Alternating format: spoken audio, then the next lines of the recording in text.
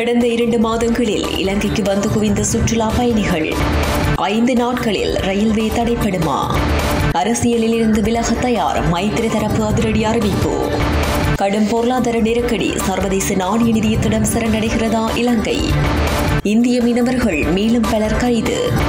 கடற்றொழிலாளர்கள் எதிர்கொள்ளக்கூடிய சௌகரியங்களுக்கு விரைவில் தீர்வு இன்றைய மின்வெட்டு குறித்து வெளியான அதிரடி தகவல்.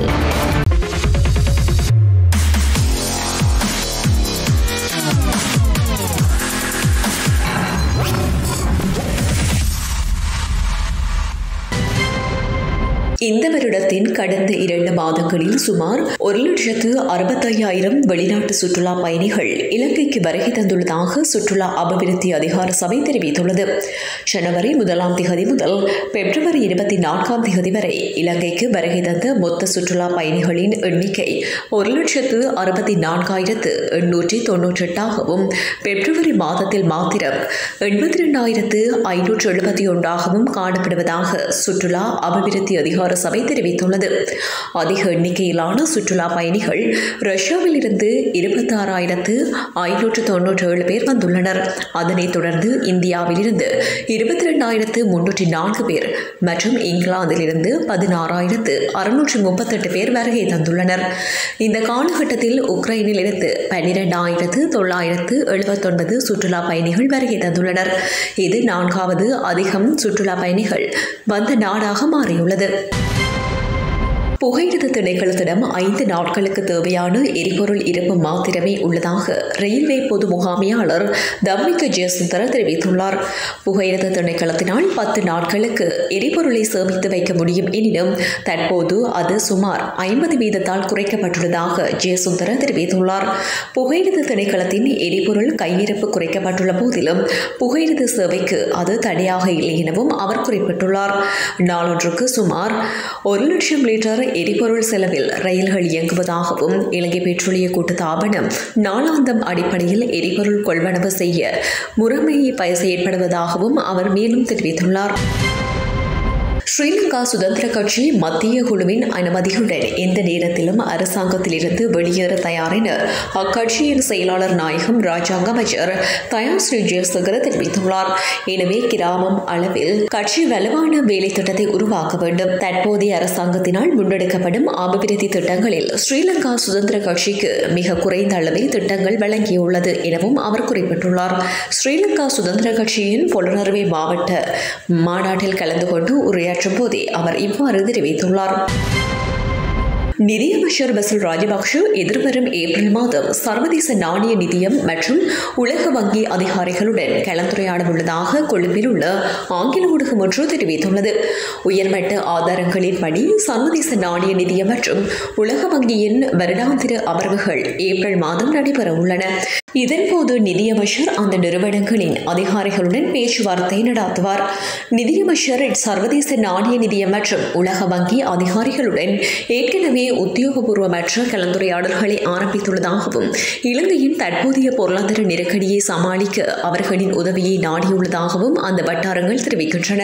நாட்டின் அந்நிய செலவாணி கையிருப்பை நிலைநிறுத்துவதற்கான வேலை திட்டத்தை சர்வதேச நாணய நிதியமும் வகுத்து பொருளாதாரத்தை கட்டுப்பாடு நடவடிக்கைகள் மூலம் மறுசீரமைத்து நிதி சீர்திருத்தங்களை மேற்கொள்ள அரசாங்கத்தை வழிநடத்தும் என்பதை அரசாங்கம் பெருமளவில் ஏற்றுக்கொள்ளும் என தெரிவிக்கப்பட்டுள்ளது. கிளிநொச்சி தீவு கடற்பரப்பில் மீன்பிடியில் ஈடுபட்ட ஏழு இந்திய மீனவர்கள் கைது செய்யப்பட்டுள்ளனர்.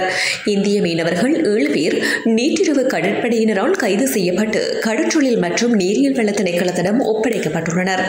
அவர்களை இன்று கிளிநொச்சி மாவட்ட நீதவான் நீதிமன்றம் முன்னிலைப்படுத்த நடவடிக்கை எடுக்கப்பட்டுள்ளதாக தெரிவிக்கப்படுகின்றது. இதனிடையே கடந்த பதிமூன்றாம் தேதி அதே பகுதியில் அத்துமீறி மீன்பிடியில் ஈடுபட்ட பன்னிரண்டு மீனவர்கள் கைது செய்யப்பட்டு சிறையில் அடைக்கப்பட்டுள்ளனர். நாட்டில் எரிபொருள் விலையேற்றங்கள் காரணமாக கடற்றொழிலாளர்கள் எதிர்கொள்ளக்கூடிய அசௌகரியங்களுக்கு விரைவில் தீர்வு காணப்படும் என கடற்றொழில் அமைச்சர் டக்ளஸ் தேவானந்தா தெரிவித்துள்ளார். தேசிய கடற்றொழிலாளர் மகா சம்மேளனத்தின் பொது சபை கூட்டத்தில் கலந்து கொண்டு அவர் இந்த விடயத்தை குறிப்பிட்டுள்ளார். எரிபொருள் நெருக்கடியினாலும் சட்டவிரோத மீன்பிடி நடவடிக்கைகளாலும் மீனவர்கள் பாரிய அசௌகரியங்களை எதிர்நோக்கியுள்ளனர். நாட்டில் தற்காலிகமாக ஏற்பட்டுள்ள எரிபொருள் நெருக்கடிகளினால் கடற்றொழில் செயற்பாடுகள் பாதிப்படையக்கூடாது என்பதில் அரசு தலைவர் கோட்டாபய ராஜபக்ஷ கவனமாக உள்ளார். இந்த நெருக்கடிகளில் கடற்றொழிலாளர்கள் எதிர்கொள்ளும் பிரச்சினைகளுக்கு தீர்வு வழங்கும் வகையில் அமைச்சரவை பத்திரத்தினை சமர்ப்பித்து விரைவில் உரிய நடவடிக்கைகள் எடுக்கப்படவுள்ளதாக அமைச்சர் தெரிவித்துள்ளார். இந்நிலையில் அண்மைய நாட்களாக இந்திய கடற்றொழிலாளர்களின் எல்லை தாண்டிய சட்டவிரோத செயற்பாடுகள் கட்டுப்படுத்தப்பட்டுள்ளதாக தெரிவித்துள்ளார். தற்போது நாட்டில் மின்துண்டிப்பு நடைமுறைப்படுத்தப்பட்டு வருகின்றது. இந்நிலையில் இன்றைய தினமும் ஐந்து மணித்தியாலத்துக்கும் அதிகமான மின்துண்டிப்பு மேற்கொள்ளப்படவுள்ளதாக பொது பயன்பாடுகள் ஆணைக்குழு குறிப்பிட்டுள்ளது. இதற்கமைய ஏபிசி ஆகிய வலயங்களுக்கு நான்கு மணித்தியாலங்களும் நாற்பது நிமிடங்களும் மின்சாரம் துண்டிக்கப்படும். இந்த வலயங்களில் எட்டு முப்பது முதல் நான்கு முப்பது வரையான காலப்பகுதியில் இரண்டு மணித்தியாலங்கள் நாற்பது நிமிடங்களும் மின் துண்டிக்கப்படும் அத்துடன் மின் துண்டிப்பு நிகழ்ச்சியான மணித்தியாலங்கள் மாலை நான்கு முப்பது முதல் பத்து முப்பது வரையான காலப்பகுதியில் அமல்படுத்தப்படும். இவ்வாறு P Q R S T U V W ஆகிய வலயங்களுக்கு உட்பட்ட பகுதியில் ஐந்து மணித்தியாலமும் பதினைந்து நிமிடங்களும் மின்துண்டிப்பு அமல்படுத்தப்படும்.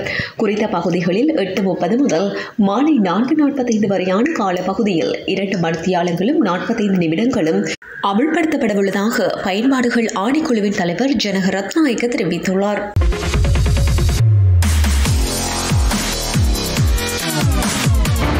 கடந்த இரண்டு மாதங்களில் இலங்கைக்கு வந்து குவிந்த சுற்றுலா பயணிகள். ஐந்து நாட்களில் ரயில்வே தடைப்படுமா? அரசியலில் இருந்து விலக தயார் மைத்திரி தரப்பு அதிரடி அறிவிப்பு. கடும் பொருளாதார நெருக்கடி சர்வதேச நாணய நிதியத்திடம் சரணடைகிறதா இலங்கை? இந்திய மீனவர்கள் மேலும் பலர் கைது. கடற்றொழிலாளர்கள் எதிர்கொள்ளக்கூடிய சௌகரியங்களுக்கு விரைவில் தீர்வு.